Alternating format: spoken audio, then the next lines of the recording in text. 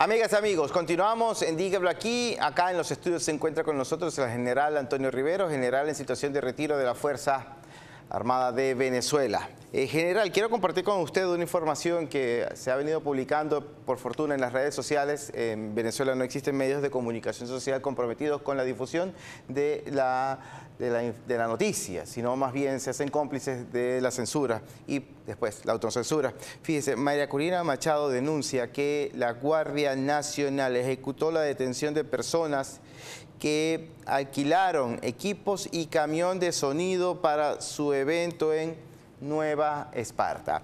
General, eh, más allá de mostrarnos lo que sucede en nuestro país con la trampa electoral, yo, este servidor, sigue apostando por la presencia masiva de electores en estos eventos, que por la vía pacífica lograremos reivindicar la democracia, la recuperación de nuestra libertad. Eh, yo estoy seguro que cada venezolano siente desconfianza de este CNE, del anterior, eh, de todo lo que han sepultado la verdad que ha hablado a través del voto, de un voto sagrado. Pero esa es la misión que tenemos quienes creemos en la democracia, es en abrazarnos a esa esperanza, en la participación electoral. Y creo que más bien con lo que usted nos dice, nos dice cómo prepararnos y que el arma principal de todo esto tiene que ser la votación masiva, general. Sí, mira, eh, José, eh, si analizamos por mayoría, pues 80%, 20%, 70% contra 20%, es ineludible que, puedan conseguir un corchón de 3 millones, 5 millones de votos para poder colocarlo en las urnas para que se cuente y decirle ganó Maduro, como lo hizo Chávez en el 2012. Porque así fue que se hizo. Consiguieron 2 millones de votos para colocarlo en las urnas de manera fraudulenta y así ganó, o sea, mostraron un triunfo de, Chávez en el 2012. Por decirte el, caso más, más emblemático desde el punto de vista informático. Si lo hacen en, este, en este momento, por supuesto, tienen que conseguir más porque no es las mismas condiciones que tienen en el 2012 o que tenía Maduro con, Chávez. Tenía, había mayor, ¿cómo se dice? Mayor fanaticada, pues, seguidores de, de Chávez. Pero en este momento requieren mayor. Ahora, a ellos les, ha favorecido una cantidad de elementos. E, e, ellos no solamente acompañan o hacen la trampa desde el punto de vista telemático o de informática. Ellos acompañan una cantidad de factores, de elementos, de acciones que permitan reducir, uno, el número de votos y, él, y se aprovechan del descontento, se aprovechan, provocan la división en la oposición, eh, inhabilitan este candidato, nombran a este delincuente como amoroso para que la gente se... Oye, pero si este es el que inhabilita a, María Corina, ¿cuándo María Corina va a volver a, inscribirse? por decir? Entonces, son una cantidad de elementos. Y para el día de la votación, por supuesto, están los planes que hemos hablado, que hemos denunciado, que los colectivos están prestos para poder hostigar centros de votación, sobre todo donde va la, oposición, para que no voten ese día. Entonces ellos hacen cálculos, ellos hacen estimaciones. Está el porcentaje propiamente de abstención que es común. Pues, hasta ahora se ha probado que 20%, hemos llegado a 20% de abstención en el país.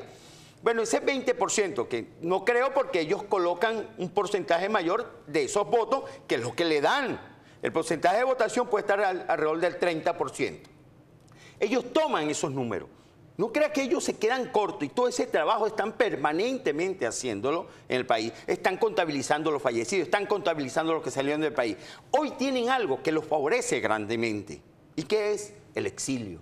Claro. El exilio los favorece grandemente. Porque no van a votar. Se estiman que puedan ser dos millones de votantes que estén fuera del país, dos millones y medio ellos se niegan a esa cantidad. Ahora ellos van a tomar los números. Las primarias que ellos dicen que la iban a inhabilitar, que la iban a quitar, ve que Diosdado siempre dijo no, había primaria, no había primaria. Ayer en su programa dice habrá primaria, vamos a ver cómo va a haber primaria. ¿Por qué? Porque las primarias les va a permitir a ellos manejar un número de votos de la oposición que le permita decir, se cae ese número de la, oposición del exilio.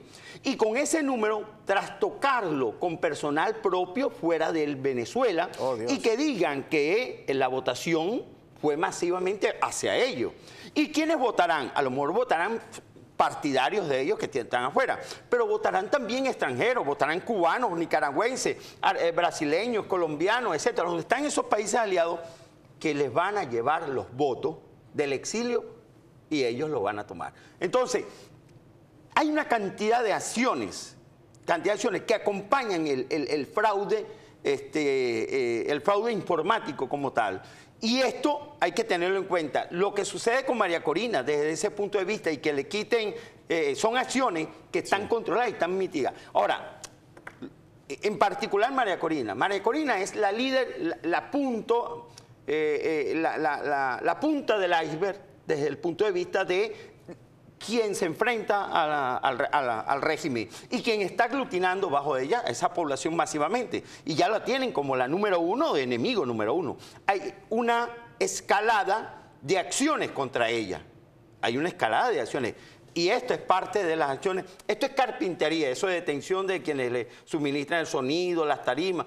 Ya esto es permanente, esto es una rutina.